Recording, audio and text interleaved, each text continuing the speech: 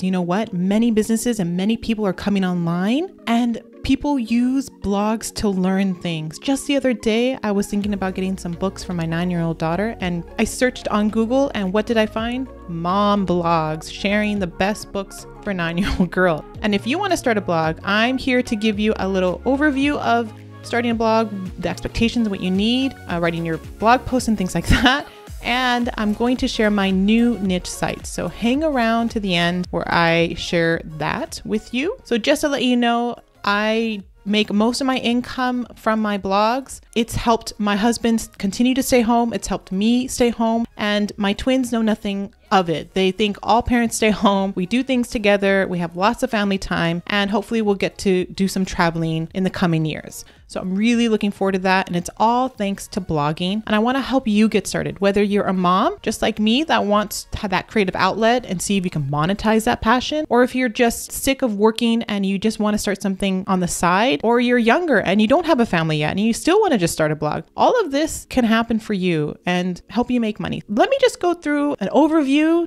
to get you excited and started. Over on my blog, Twins Mommy, I do have a guide here on Start a Blog. It's for mom bloggers. The process is still the same. I recommend that you first figure out your niche and what you're going to be talking about. This is probably the most important step if you want to start making money with your blog, you need to find a topic that people will, first of all, know and understand and need help with, and that are the second that are willing to get that help by paying for it basically. You need to find those niches. And how do you do that? The biggest way you can do that is through Pinterest, seeing what's popular on Pinterest, and then looking to you and what you are searching for online. I just told you that the other day I went on Google to search for some books. So something like that, a motherhood site with, you know, book recommendations and recipes and things like that. I go online all the time for recipes. I go online for fashion, for beauty, for lots of things. Uh, I go online. People are doing that same thing. So finding those like topics and then narrowing down to your audience. You know, Twins Mommy is a site for mom bloggers. It's not a site for moms with twins, it's a site for mom bloggers who want to make money blogging. There are many blogs that are owned by moms that aren't they're not interested in making money for that purpose but so i don't speak to them. So it's very specific. So if you want to start let's say a knitting blog who is your target audience? Is it just moms? Is it young kids? You want to do knitting for kids? You need to sort of figure that out and it, that's where your profitable niche can sort of rise up and you can find that one niche. So it even though it's for moms this could be for a blog for anything. It doesn't have to be a mom blog with motherhood topics. It could be anything.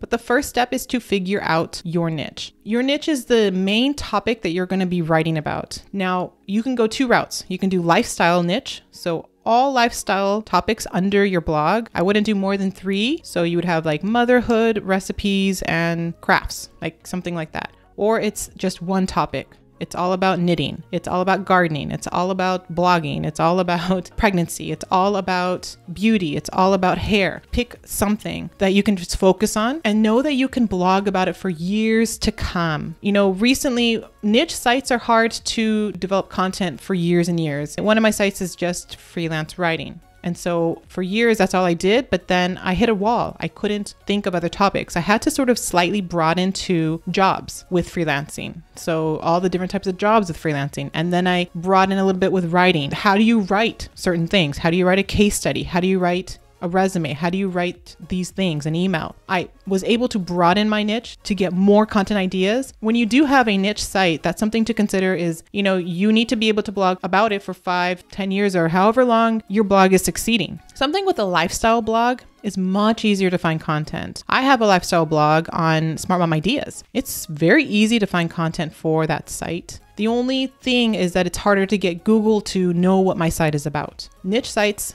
definitely make more money in the long run than my lifestyle blogs, but I might be turning a leaf on that. I've seen lifestyle blogs do phenomenally well on Google, on Google. So I know it's possible. I want you to know that if you want to start a lifestyle blog, you can, and you can monetize that, and you can really make good money with it. I have seen other lifestyle bloggers do that. There's a lot to consider right there with just a niche. So take the time to discover that that one niche topic So I have these questions. What am I passionate about? Think about that. Is there a need for your niche? If you search for it, do you actually see tons of blogs? That's a good sign. It's a good sign when you see tons of mom blogs that talk about book reviews. That's popular. There's a need for that. And then can you monetize it? Go to these sites. Are they monetized? Do they have a workbook for sale? Do they have educational curriculums for sale? Do they have an online course, a membership, things like that, other digital products for sale? That tells you that it's a viable niche that you can start. The next thing is to choose your blogging platform. I personally choose my host as Bluehost. So you can grab the link, I'll show it right now, to start your Bluehost account that's your hosting platform or blogging platform. There are other hosting providers, but I can tell you Bluehost has phenomenal customer service. They are cheap to start, definitely one of the cheapest out there, but they have very good customer service. You may have heard otherwise, but that's the old Bluehost. Bluehost has really stepped up the game lately in the past couple years, and you can tell comments of my course students right here telling sharing in my Facebook group the customer support and how great Bluehost is right here. Bluehost has very good customer service. It says here I have a few technical questions that they're going to ask Bluehost. I said that they answered my question quickly, and you can have great success just phoning them. That's great. They use the phone here, super helpful. This is a big glowing testimonial for Bluehost support. So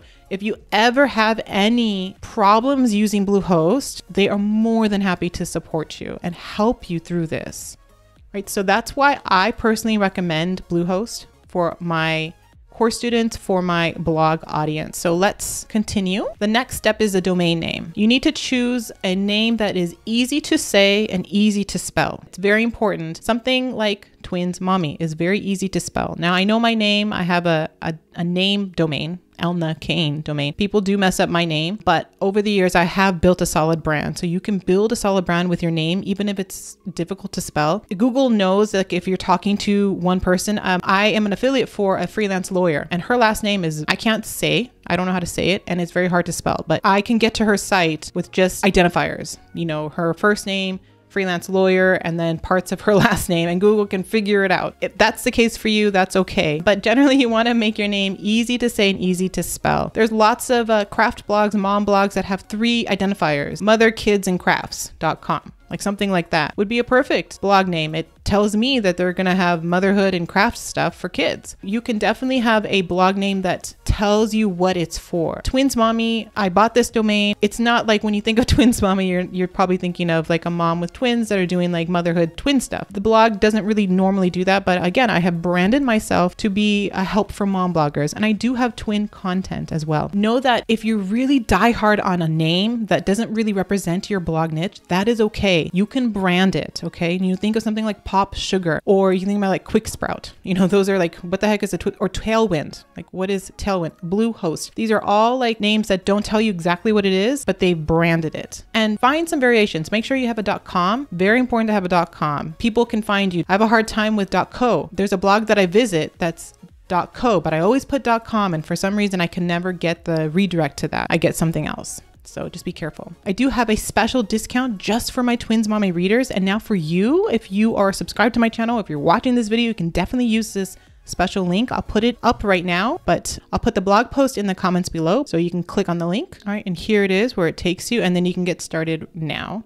So you press that. So there are three basic plans with using Bluehost. And what's so neat about using Bluehost is that they don't care which plan you choose. I know with some other hosting plans, they really push people who recommend their hosting plans to push the higher tier plans, but Bluehost doesn't. If you want to get started, you're not quite sure, basic is wonderful. Basic gets everything done. And I suggest that once you go through the steps here, that you know you get the one domain, you can have your free ticket, SSL ticket that protects your site, and all of this great stuff here. You can read about it once you invest in the time to learn about that. But you pick basic, and then the next step is to create your new domain, or you can skip this step. You can create it later. So let's just create it later. But that's where all the time you spent creating that domain name, maybe you have a few of them, you can try them out. And this is where you can set up all the information. The one thing I want you to make sure in order to get that uh, basic plan. One thing I want you to do is change this to 36 months, to three years. It's a little bit more expensive, but honestly, if you want to not be bothered at the end of the year when you're just getting traction to pay for hosting, I suggest you get the three year plan and you do save the most money. After three years, you do save the most money. So I suggest you get to this plan and then you don't need all of this. You don't worry about this. Uh, don't worry about that. You don't need any of this stuff. And you can still go under $200, start a brand new business with a blog because your blog is your business. If you're making money, it is business under $200. I mean, that's amazing. Not many businesses can start with only that much money. So that's amazing. And then you have your options to pay. So that's in a nutshell, that's hosting to get your site started. When you go through the plan, the next couple steps, it's going to ask you, you know, what kind of theme do you want? My suggestion is Astra. It's a WordPress theme. Bluehost automatically shoots you through WordPress because WordPress and Bluehost work together and they do phenomenal, a phenomenal job. And I highly suggest WordPress. All my sites are WordPress. And then your payment option, and then that's it. After that, the next step will walk you through you setting up your account information, your password, and then it'll ask you what kind of help you need. You can decide the help. Bluehost automatically assumes that you're going to have a WordPress site, and I suggest that you go through with that and have a WordPress site. It's all my sites are WordPress.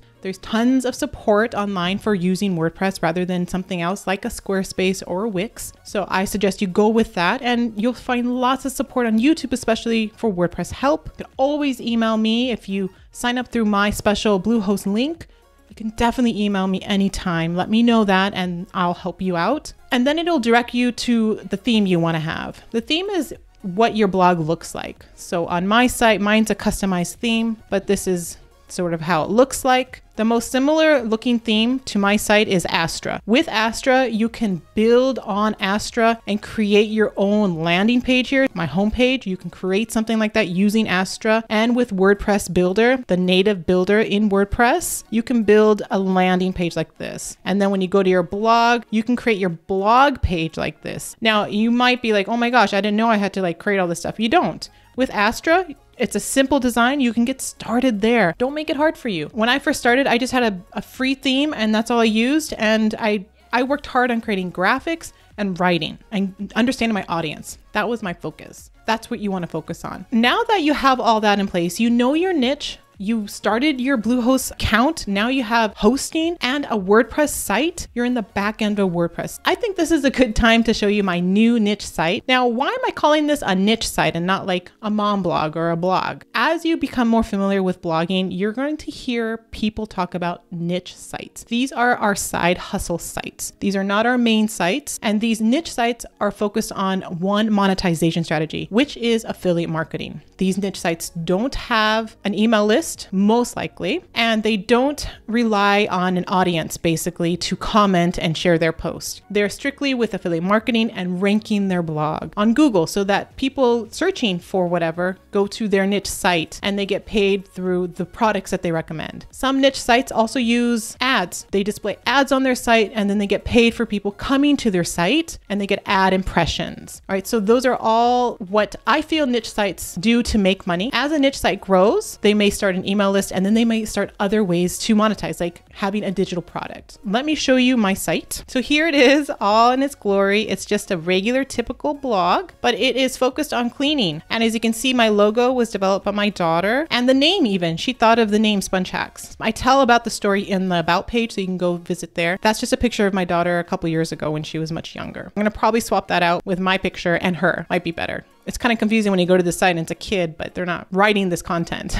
so these are my blog posts on here. It is all about sponge cleaning or cleaning hacks. It's very niche to that. And I am checking out different types of cleaning or checklist based blog post ideas. And here is another kind of blog post idea here. And then basic cleaning supplies, cleaning schedule, cleaning routine, all of those things that this blog could support. Cleaning tips here. I've been working on this blog for a while. It hasn't been a month, but this one, this this blog post is slowly taking off on Pinterest. Right here, it's already getting lots of shares here and some on other platforms, which is kind of nice. But I am marketing mostly on Pinterest. This site has its own Pinterest account. So I'm doing a strategy there. And I hope over time, if this site grows with income and traffic, that I can make this a case study for sure for my students in Ready Set blog for traffic. And so if you have any questions, specific questions about my niche site, post them down below. I might do another video, but I thought I would share that with you. The next thing we're going to do is I'm going to show you quickly the back end of the site and then show you how you can start your first blog post. All right, this is the back end of my WordPress site. All WordPress sites will have a back end that looks similar to this, where you're going to have your menu on the side here and things on top here where you can add your gravatar, make your profile so that you can have everything nice here to have your picture and who you are. A lot of blogs in the beginning, whatever you decide. I start my sites with Bluehost under like admin, so it's going to say hi admin. So I want to change that. But then this is where things happen. You're going to do most of your work on the back end of your blog. This is it. Posts is where you're going to spend most of your time and media where you're going to upload a lot of images, your pin images, your feature images, things like that. You're going to monitor comments or you can decide not to have comments. I do not have comments on my blog, uh, especially because it's brand new. Maybe if it grows fast, I might put some comments on, but I don't want to get bothered with that. A lot of people just use it to spam. I'm not interested in monitoring that, although there are plugins and things to help you with. And then here's where you can customize your site. And then plugins. If you don't know what plugins are, they're just little boosters, little add-ons you can add to your site. So if with comments, if I want to filter the spam, there's a plugin for that to filter the spam. If I want to add my Google Analytics, I can add a plugin to show my Google Analytics. There's little things like that. If you want to do related posts and have a little ticket underneath and have all your related posts, you can have a plugin for that. My suggestion is don't go crazy with your plugins. Keep it minimal. Have one or two or three, maybe five at the most, and that's it, because it does slow your site down. You don't want people to wait to load up a blog post of yours or to go to your page. You want things to run fast. Creating your first blog post, I know it looks kind of funny this way, but you go here to add new, and this is where you can add your blog post, and it's showing you the editor. So WordPress has this cool drag and drop editor. You can look through this if you want, but I'm just going to show you right now. It's very simple. Once you source your blog topics, then you can start writing. Let's just just play, for example, if you're doing a knitting blog, I would definitely start with some kind of fun blog post that would attract people to want to come to your site. So give them help. So it might be a knitting pattern or it might be a knitting tutorial, or you can do something like your favorite knitting patterns or something like that. And you can call it, instead of calling it my favorite knitting patterns, which is very internal, you can do something like top, you know, top 15 knitting patterns that, and then I don't know, you can knitting patterns that easy are easy and fun. Something like that, where where you're giving some value to your content it's about people who want to learn about knitting. You can share the top knitting patterns. Go on Pinterest, see what the top knitting patterns people are doing cardigans, scarves. They might be doing little animals, things like that, and start accumulating that content. You know, one, the first one can be a knitting pattern for cardigans. Go to another blog and attribute that. Say, I found this cool knitting pattern on such and such blog and link to it. If you want to link to it, say, I found this cool tip on, let's link to my blog, Twins Mommy, where she shares how she made a scarf for her twins. No, not a scarf, a hat. Let's pretend I have a blog post on that. I would click on the link button and then I would paste it in. So if you find it online, but let's just pretend it's twinsmommy.com slash knitting. And then I'd press the arrow and then that people can go to that if they want to in the blog post. So if we save it and preview it, my theme shows this. It's a basic theme. So it has the title, and then my first sentence right there. And I have sharing. So this is a plugin. That's one I use. so you can see this is how I would link to other people. If you're sharing 15 knitting patterns and you haven't done them and you can't show them online, then you can obviously go to other sites and use those examples. Just make sure that you're linking to them. And that's also good blogging practice and it helps you grow your blog. Those people realize that you link to them, they'll go to your site and they might recommend your site if you have really good content. There you go. That's how you start a blog. You start your first blog post. I walked you through my niche site to see what I'm doing. I am hoping to grow that blog and use that as a case study. If you found this helpful, give me a like and subscribe to my channel for more videos like this.